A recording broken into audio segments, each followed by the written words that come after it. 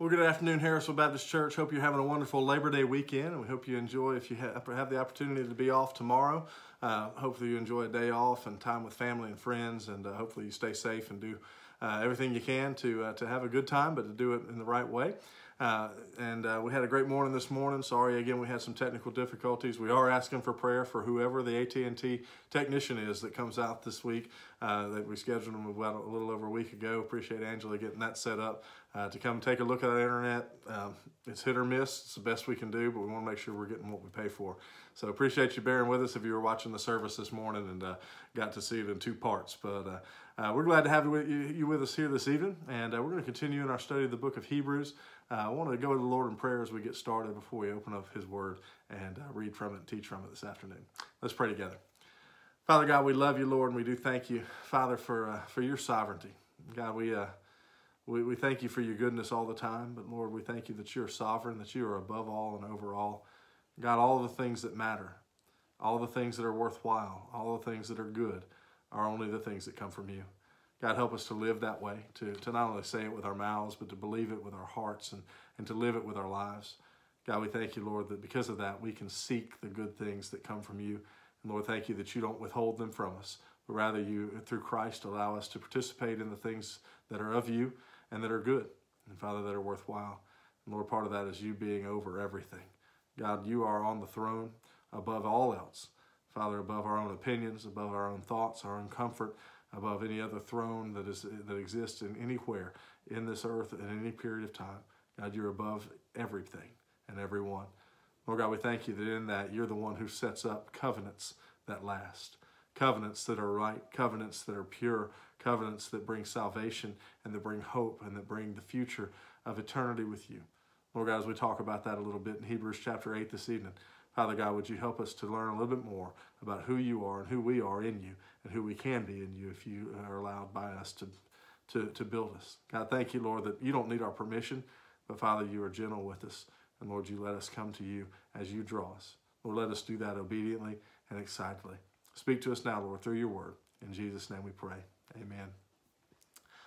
All right, before we get to Hebrews chapter 8, as we pick up in our study here that we've been doing on Sunday nights, I just want to tell you that I'm thankful for our deacons, thankful for the meeting that we've had this evening uh, or this afternoon, and, uh, and for, for the, the leadership that they uh, provide for our church, that God uses them to do so many things behind the scenes to, to not just make decisions and approve or disapprove things, things like that, uh, that, that so many times we think about when we think about deacon bodies. But, but I'm thankful for godly men who, who seek God's will and who seek God's will for their lives and their families, but also for His church. And uh, just thankful to serve with them and uh, look forward to sharing with you more about what was talked about today uh, here this coming Wednesday night as we are, are, able to, to make all of that public. So pray for them as well, continuing going forward as they continue to lead. We're asking this year's deacons to, uh, to give us an extra couple months of service, uh, but we're also working on uh, deacon nomination that we'll be doing uh, in a different way, but a new way as we come up, as we see who God's going to put into that body for the coming church year and years to come. All right, at any rate, uh, Hebrews chapter 8 is where we're going to read this evening. We're going to pick up there. Uh, we talked about last week Melchizedek, all things Melchizedek, and who Melchizedek was, and, and how Jesus is like him in description, but is above him as he is above all things. The writer of Hebrews has been setting up Jesus and explaining him as our high priest, as our great high priest, greater than all the other earthly priests that have ever existed or ever will exist. He is the ultimate go between between us and God the Father. And he does that because he is perfect and also because he has experienced humanity and done so perfectly. Um, so, with a new high priest, the, the high priest was uh, had many duties and, and has many duties. Um, but the, the best of that and the most of which is to uphold and to and to exercise uh, the parts of the covenant for uh, for people going back to God. And so um, that's that's what he moves into next. He mentioned already that we have a new covenant that's brought in by this new high priest, Jesus, uh, and that the new covenant is better than the old covenant. Uh, and, and the idea there is that it completes it. it. The old covenant set up the futility, and the new covenant brings um, the, the actuality of salvation. And the futility, of course, in the Old Testament is that we can't find our own salvation. We can't make our own salvation. We can't do enough to be forgiven on our own or to be found righteous before the Lord. But the new covenant offers all of that through the work and the person of Jesus Christ. And so in verse 8, or chapter 8, verse 1, we start and we pick up and we read. Now, the main point of what we are saying is this. Time out. It's nice when he points out the main point for us, isn't it? Now, the main point of what we were saying is this. We do have such a high priest who sat down at the right hand of the throne of the majesty in heaven, and who serves in the sanctuary, the true tabernacle set up by the Lord, not by a mere human being. Every high priest is appointed to offer both gifts and sacrifices, and so it was necessary for this one also to have something to offer. If he were on earth, he would not be a priest, for there are already priests who offer the gifts prescribed by the law. They serve at a sanctuary that is a copy and a shadow of what is in heaven. This is why Moses was warned when he was about to build the tabernacle. See to it that you make everything according to the pattern shown you on the mountain.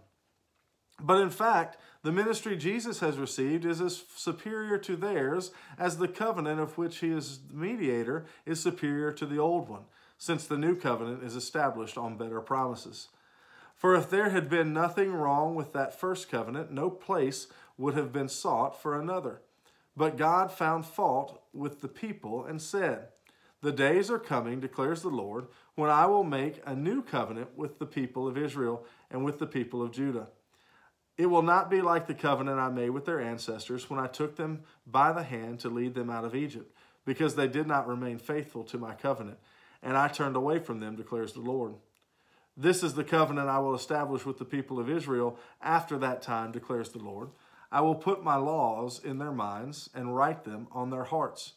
I will be their God, and they will be my people.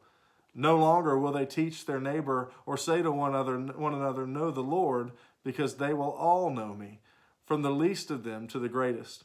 For I will forgive their wickedness and will remember their sins no more. By calling this covenant new, he has made the first one obsolete, and what is obsolete and outdated will soon disappear. Well, so we see here, uh, as, as we see a lengthy quote from the book of Jeremiah and prophecy there, uh, we see here that, that Christ is not only our high priest above all other high priests, but he is in fact the mediator of a new and the new covenant between God and his people. Uh, in verse 1, he, he says, Now the main point of what we're saying is this. He, again, nice that he points that out for us we do have such a high priest. In other words, that high priest that he's described up to this point, especially uh, in chapter 7 and, and the ones follow, or, or preceding that, uh, the, this perfect high priest he's been discussing, we have that high priest. We indeed have that level of high priest, the highest of high priests. We have the right high priest and the one that was promised to come in Jesus. Uh, we do have that high, such a high priest, he says, who sat down at the right hand of the throne of the majesty in heaven. This is a direct reference to Jesus and the prophecy concerning him and this Christ being the one who had been promised for so long. He says, and he also, who serves in the sanctuary, the true tabernacle set, tabernacle set up by the Lord, not by a mere human being. Now, this refers to the fact that Jesus is still active as high priest. He is still, uh, he is still doing the will of the Father when it is pertaining to us. He's still interceding for us. He's still fulfilling the duties of the great high priesthood. He's still doing that, but he's not doing that in some earthly temple or some earthly tabernacle, some earthly building or location. He's doing that at the very and in the very presence of God the Father. And so that's where, of course, we know that, that the scriptures teach us that he ascended to after he left here and where he waits for the Father to turn to him and say, Go and bring my people, in which time he will return and, and he will come back and, and collect his church, collect the, those who are saved, those that are in him, and usher in the new, uh, the new kingdom and the new Jerusalem and the new eternity uh, that we'll be living in, those of us that have put our faith in him. And so he's, he's serving there, not in, in something that was made by man, but he's serving in heaven. He's serving in, in the very place where God is. Uh, remember the tabernacle in the Old Testament, Moses was instructed to build it. It was a, it was a thing that traveled with them as, the, as they went through the, uh, through the, the, the wilderness and, and, working their way to the promised land. Uh, the tabernacle was very specifically built, and it was built, as we'll read here, as we already read a little bit, we'll talk about more in just a second. Uh, we, we read that there was a reason for it being so specifically built. It wasn't just thrown together. It wasn't. There weren't any corners cut on it. Uh, it was a specific representation of what is in heaven, and that is indeed where Christ is still working and will continue to work until He returns as our high priest there. So we have this high priest. He's saying He's described this high priest that is greater than all, that is above all, that is the ultimate and the necessary high priest. And He's saying we do have Him and this is Jesus, and he's working right now, even as we talk, even as at this point for him, the writer of Hebrews, as he wrote this and as it was being read to those who would first hear it. In verse 3, we read, Every high priest is appointed to offer both gifts and sacrifices. And so it was necessary for this one, this high priest, Jesus, also to have something to offer. In other words, this is part of the concept and the duty of a high priest and so Jesus follows and fits into that description as our high priest also in this. And, and the idea here is, is that it is important if there's going to be a covenant, there has to be someone who's the mediator of the covenant, the one who, who sees to both sides of it, who works both sides of it in obedience to God. And so Jesus is that one. And so he would have to have something to offer. It says, if he were here on earth, he would not be a priest. This is verse 4. For there are already priests who offer the gifts prescribed by the law. And so what he's delineating here is he's not talking about the gifts of sacrifices here on this earth.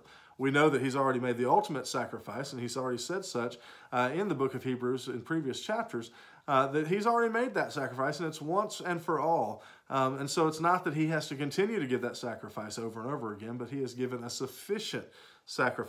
And so the earthly priests may still give their sacrifices, but that's not what's needed at this point.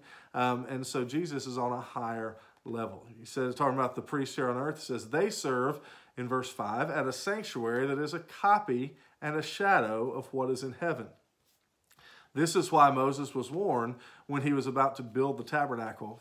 And God said to him, See to it that you make everything according to the pattern shown you on the mountain. The things that we're doing here are representations of what we will do in eternity when we gather to worship the Lord. Well, that's a that's a representation. Uh, that's a that's a, a smaller, much smaller version of what we will spend eternity doing. That's praising the Lord, seeing that He is holy, that He is worthy, and, and worshiping Him for all of eternity.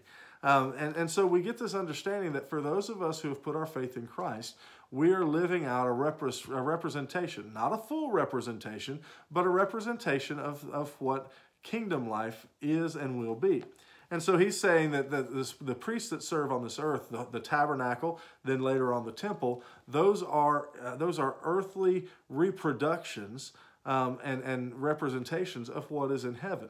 So in, there you had a throne room, which would have been the Holy of Holies. Uh, you would have had the part behind the curtain where God uh, symbolically lived, and uh, and that's that that's a representation of the throne room of heaven. Um, the courts and things like that represent where we will all be in eternity in heaven when we put our faith in Christ and, and, and get there to that time where we'll spend the rest of, uh, of all of the days that are uh, in, in faithfully worshiping God without sin and without disease and without fear and all those things that plague us now. He says they serve in a sanctuary that is a copy and a shadow. In other words, it's not as good as. Better is still to come, more accurate is still to come, more faithful is still to come in eternity. But what we do here is a, is a representation, is a, a, a copy or a shadow. Uh, it's a hint of what is to come.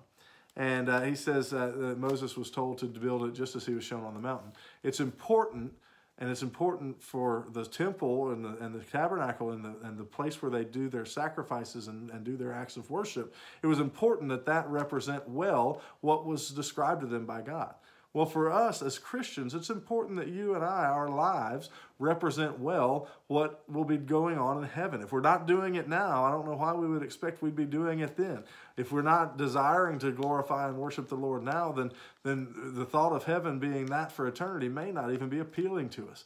We certainly look forward to the time where sin is gone and death is gone and we're reunited with other loved ones who have also been in the faith and, and have passed on before us. But, but if, if we're not about glorifying the Lord now, then it's going to be hard for us to understand what eternity is going to be like. It's a, right now is a copy, it's a shadow, even in our own lives, in how we live out our faith to God and our faith in Christ.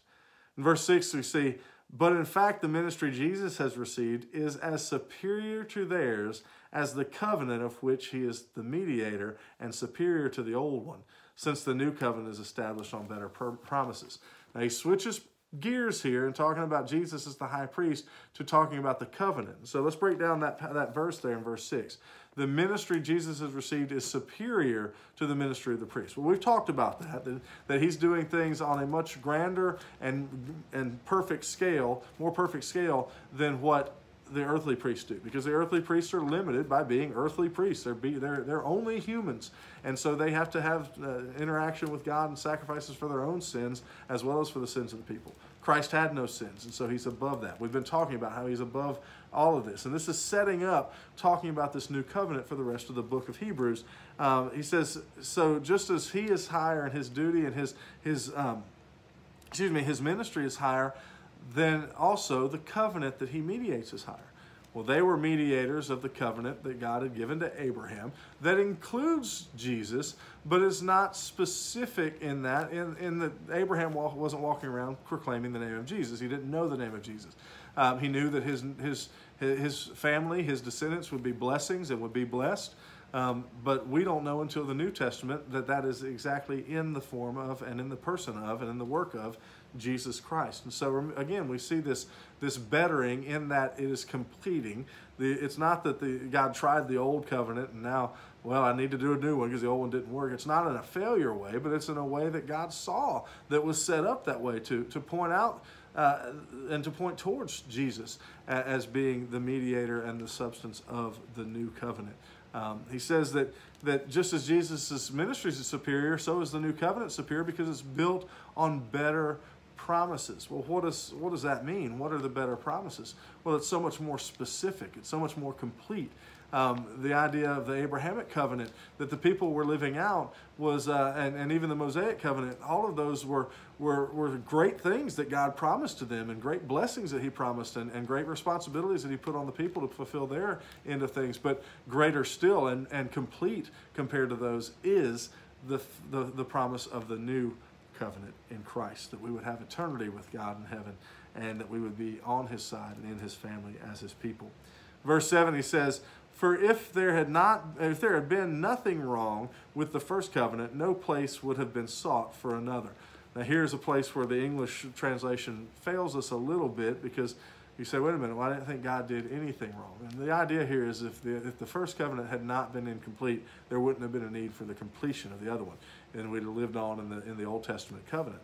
But that's not the case here. We, Jesus, Jesus did come, God did send his son, and, and he did establish and has established the new covenant to complete the work of forgiveness and reconciliation that the old covenant just began to point to and, and started the process of.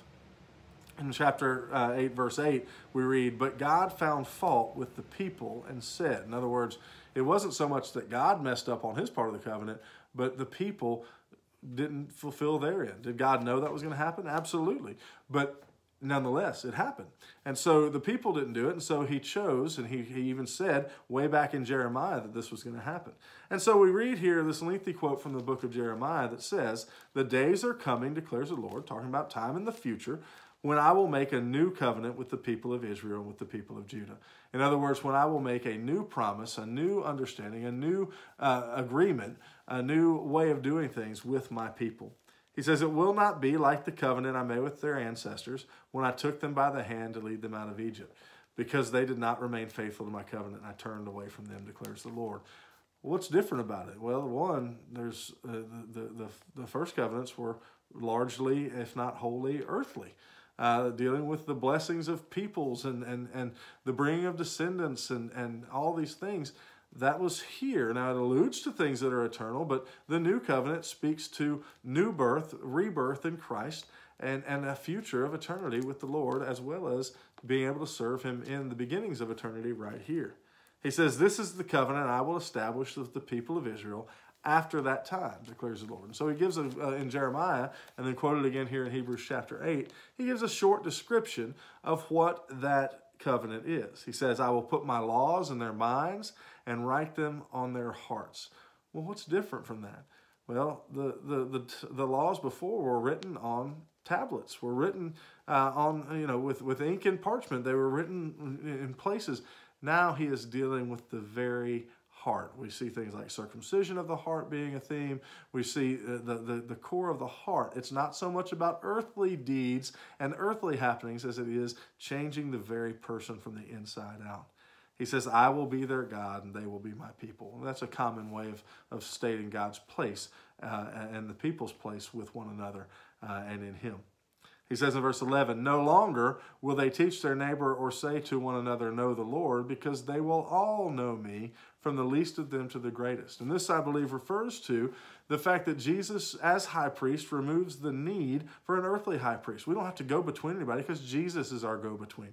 Uh, we don't need anybody to go between us and God because Jesus does that work. He has done, is doing, and will do that work. And so we can know God personally, not through religion, not through action, but we can know God personally and intimately. That we will know the Lord and, and everyone from the least to the greatest will have that opportunity. We're living in that time of the new covenant. The last part of the quote from Jeremiah is, is Hebrews chapter 8, verse 12, that says, For I will forgive their wickedness and will remember their sins no more. Now, this is a key part of this, this covenant because what happens when we give our life to Christ? In that moment, we are saved. It's no longer about sinning and offering a, a, a sacrifice, sinning some more, offering another sacrifice, and going, and this constant back and forth of sinning and then being brought back to being clean and righteous and things like that. Christ does it once and for all. Our, forgi- our sins are forgiven, our wickedness is forgiven, and they're no longer remembered. In other words, it is as if they never happened. That's how righteous Jesus makes us. That's the righteousness that He and He alone offers to us. He wraps up this short chapter by saying, By calling this covenant new, He has made the first one obsolete. And what is obsolete and outdated will soon disappear. Well, what does that mean? I mean, boy, to say that, that God's commandments, that God's law is obsolete. That, that seems a bit strong. That seems a bit brazen. That seems maybe a little bit overboard. Well, that's him saying that about the old law. And if we are relying on the Old Testament law, the Old Covenant, to uh, achieve and to experience righteousness in our life before the Lord, we will fall. We will fail. We will we'll miss it. We won't get it. We won't we won't experience that because that's not how it works. Because that old covenant is rendered obsolete because there's a better way. There's better promises. There's the new covenant. There's the way of putting our faith in Christ and Christ imputing into us his righteousness, giving us what only he has to give that we can't give ourselves, but he freely gives it over to us. That's part of the new covenant. It's that we would, would not be dealing with taking care of our own righteousness, but rather that he would take care of our righteousness. And you see there, that's a big change. That's a, that's a huge shift from the old, incomplete, and now obsolete covenant to the new, complete, and fully relevant covenant because that's what's going on. It is, uh, it's as if we've gone from one version of technology to the ultimate version of technology. Right now, if you've got a typewriter at your house, it's probably uh, obsolete. It's probably in your garage or in your attic or in a box somewhere. You're probably not using a typewriter every day, but you may be using a computer. Now, who knows? Computers will one day be obsolete too, and uh, and that that's where this illustration kind of breaks down with technology because it's always coming to better technology, faster, smaller, more convenient, more pervasive, whatever we're trying to look for in our technology. But the new covenant renders the old obsolete because there is no need for another covenant after Jesus. Jesus is the ultimate Savior, and he, he gives us the ultimate salvation above all else and, and, and greater than all else. He's the ultimate high priest because the new covenant is the ultimate thing that God can give us. And that is a way to come back to what started in Genesis as the proper and good relationship between God and his creation. Um, the Old Testament law didn't bring us back there. The Old Covenant did not bring us back there. It pointed us in the direction. It got us ready to understand the New Covenant by understanding how sinful we are, by pointing out how pointless it was for us to try to do our own thing and try to earn our own way to being saved and to being forgiven. Uh, but but the Old Testament, New, the Old Covenant does not bring back the relationship. What brings back the relationship is the New Covenant found in Jesus Christ. And that's the promise that he gives us. So this evening, if you're out there and you've not put your faith in Christ, I encourage you to do so today and be brought back into relationship with God the way you were created for. If you've been living your life and there's things that are missing, things that are so incomplete, things that are so uh, out of whack and out of order in your life, then it's probably because you, you're trying to fill other uh, fill other things in to meet the needs uh, that only God can meet in your life. And if that's the case, then today you can put your faith in Christ and have those needs met. Will everything become perfect? Well, in God's eyes, it will be in your life. But for you, you'll still grow, you'll still experience struggle, you'll still have wants and needs and things like that. But God will be meeting those things and growing you in it. And so today you could start your relationship with Christ in this new covenant that promises salvation for you in exchange for you giving your life over to Him and, and being willing to glorify Him by sacrificing your life and the things of it for all of eternity. I tell you what, it's a good trade because what my life is worth to God compared to what His salvation is worth to me, um, man, He's got a lot of other lives. Now, He loves me and chooses to love me in, in a valuable way that is beyond my understanding, but uh, He's the only way I can get salvation. He can get glory from anything. So it's a better deal for you and me to put our faith in Christ than it is for Him but he chooses to make it good for him. Uh, if you're a Christian this evening, then I hope that you'll understand that that we don't we don't while we do live by the the the words of the Old Testament because they point out the character of God and we live to glorify God. Uh, it's not about us checking off following rules. That's the old covenant. The new covenant is that we're putting our whole self, our whole faith, our whole life in Jesus and Jesus Christ alone. Uh, and that, that in Him we find our righteousness, not because of what we've accomplished and because of what we do and because of how we uh, behave ourselves or what side we're on of things, but because of who He is and what He has done. He's our great high priest. We're not our own. And so He is the one who's offered the sacrifice, and He is the sacrifice. It's all about Jesus. Hopefully, if you're a Christian this evening, then that's true in your life. Let's pray together. Lord God, you have all of this laid out, figured out, planned out, and you've carried it out. God, we're just coming to it to try to understand it. And so often, Father, it's confusing to us. But Lord, we pray that we would trust more and more in your Holy Spirit as He directs us and guides us to understand your word. We thank you for the very embodiment, fulfillment of your word in Jesus, who makes all of this possible. Lord God, for the one who doesn't know Jesus yet, would you bring them to faith in Him even now? And Father, would you help us that have put our faith in him, that do follow Jesus, to follow him and to follow you more obediently and faithfully in everything that we do. Thank you, God, for your new covenant that makes all things right if we'll but put our faith in you. Help us to celebrate you as we trust you in all that we do. In Jesus' name we pray. Amen. Well, folks, we hope you have a great rest of this long weekend. Hope that you're with friends, family, wherever you desire to be, and better yet, wherever God desires to have you. And I hope that you're having a wonderful time. And if you're having trouble, or even if you're not and just want to talk, holler at us. Let us know. Let us know how we can pray for you. And uh, we continue to pray for all those on our prayer list, as well as those who are, are being made, uh, we're being made aware of their situations, uh, even day by day, moment by moment. We're praying for you, and we hope that you have a great rest of this Labor Day weekend. Happy Labor Day, and God bless you.